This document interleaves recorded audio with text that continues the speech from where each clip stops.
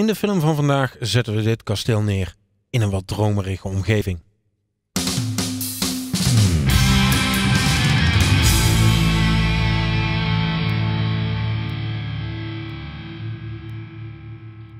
En om die dromerige omgeving te maken moet je verschillende stappen doen. De allereerste stap is de laag dupliceren met Ctrl-J en de dekking van normaal op zwak licht te zetten. En wat er dan gebeurt is dat het contrast van de foto eigenlijk wat hoger wordt en de kleuren wat intensiever. Dat is nu nog niet zo van belang, maar dadelijk wel. Ik zal het wel laten zien als ik die laag een keer uit en aanzet. Vervolgens gaan we wat uh, mist toevoegen. En dat doen we met een nieuwe laag. En deze laag noem ik mist 1. En op deze laag gaan we dus mist maken. En dat doen we in een selectie. En om nu te tekenen in een selectie heb je daarvoor een bepaalde modus. En die vind je hieronder. Dat is de snelmasker modus. Als je daarop drukt, dan zie je dat mijn laag omspringt naar een andere kleur.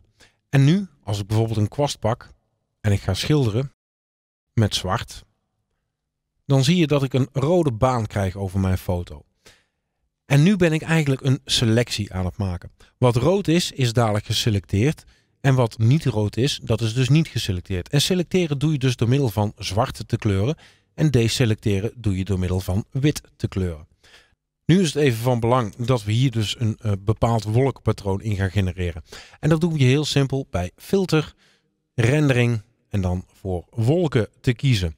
En je ziet, er komt een bepaald patroon aan. Het lijkt alsof het allemaal rood is, maar dat is het niet. Want als ik nu uit het snelmaskermodus ga, door weer daarop te klikken of op de Q, dan zie je dat ik een soort vlekkenpatroon krijg als selectie. En met deze selectie ga ik dus aan de gang. Ik ga hem vullen met wit en dat doe ik door Alt Backspace in te drukken, want wit is mijn voorgrondkleur. En met Alt Backspace vul je je selectie met de voorgrond. En vervolgens hef ik met Ctrl D mijn selectie op.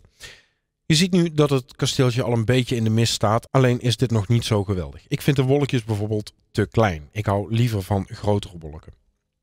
Ik zoom een klein beetje uit. En ik heb nog steeds de laag mist 1 geselecteerd. Die dupliceer ik overigens nog een keer en daar maak ik van mist 2. En deze zet ik weer even uit en ik ga naar mist 1. Om deze groter te maken druk ik heel simpelweg op Ctrl T en dan krijg ik het vervormgereedschap eromheen. En kan ik hem gewoon groter maken. En hou je Shift en Alt ingedrukt in, dan ga je uit vanuit het midden.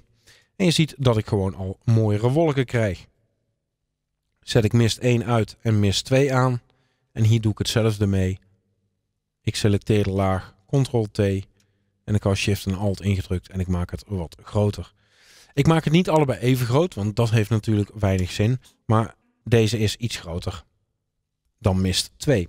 En deze twee die selecteer ik vervolgens tezamen en met Ctrl-G zet ik dat in een groep. Zoom ik weer een klein stukje in. Goed, op zich is dit al wel vrij aardig. Alleen de wolken zitten nou over de hele foto en ik wil dat natuurlijk wat uh, geselecteerder hebben. En omdat ze mooi in een groep zitten, kan ik dat met een laagmasker makkelijk doen. Als je de groep hebt geselecteerd en je houdt er Alt ingedrukt en je drukt op het laagmasker icoon, dan komt er een laagmasker bij wat meteen is gevuld met zwart. En zoals je weet, vanuit laagmaskers kun je gewoon met een kwast en een witte voorgrondkleur lekker eenvoudig de wolkjes terugverven waar jij het wil. En het kan natuurlijk ook anders. Je kunt ook heel je tekening vullen. En vervolgens met zwart zeggen waar het niet thuis hoort. Nou, als je nou denkt van hé, hey, dit is wel een extreem verschil. Ja, dat klopt natuurlijk. Maar je kunt ook gewoon zeggen van nou, met een bepaalde dekking, bijvoorbeeld 30%, zet ik hier toch een klein beetje wolkjes bij. En omdat het een laagmasker is, kunnen we dit later natuurlijk altijd nog aanpassen. Wat ga ik nog meer doen? Ik ga vervolgens de kleurtoon en verzadiging aanpassen. Ik vind dat er wel wat verzadiging uit mag. En ik wil een, mooie laag vignettering eroverheen. Ik maak een nieuwe laag, die noem ik een vignet. En ik pak het selectiekader en ik kies in dit geval voor een ovaal kader.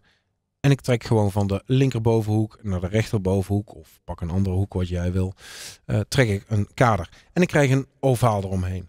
Dit ga ik vervolgens omkeren met Ctrl-Shift en I. En dit ga ik vullen met mijn achtergrondkleur, in dit geval zwart. En dat is Ctrl-Backspace. En ik hef de selectie op met Ctrl-D. Dit wordt vervolgens mijn vignet. En heel simpel door op filter, vervagen en Gaussiaans vervagen te klikken. En standaard staat dit op 4,6. Mm, het moet gewoon vet omhoog. Tot dit ongeveer. En ik kan de dekking van deze laag een klein beetje aanpassen. Ik vind dat mijn kasteel eigenlijk nog gewoon te veel kleur heeft. Dit vind ik mooier. En ik vind dat de wolkjes eigenlijk bijvoorbeeld een klein beetje minder mogen. En dan mag ook het vignet weer wat terug. En zo blijft het een beetje in balans. En hier wil ik eigenlijk wel een soort sepia tintje overheen. En dat doe ik heel simpel met een fotofilter. En ik kies voor sepia. Ik zet de dichtheid wat omhoog. En ik speel wat met de dichtheid net zo lang totdat ik denk van, hey, dit is eigenlijk wel iets.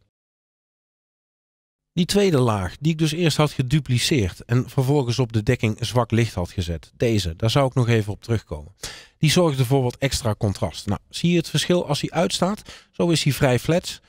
En zo heeft hij toch gewoon een klein beetje meer boost. En alleen maar omdat ik hem gedupliceerd heb en hem op een andere dekking heb gezet. En op zich vind ik dit wel een vrij aardig resultaat als je ziet dat we vanaf dit origineel komen en tot dit zijn gekomen. En nu kan ik er nog bij wijze van spreken een leuke tekst op zetten. Een groeten uit, weet ik veel waar dit kasteel staat. Ik doe een gok, Zuid-Duitsland. Dit is Neuschwanstein of zo. Uh, maar dat maakt helemaal niet uit. Maar zet er gewoon uh, groeten vanaf je vakantie op. En je kunt hem afdrukken en opsturen. En je hebt een leuke vakantiekaart. Bedankt voor het kijken en tot de volgende keer. Doei doei!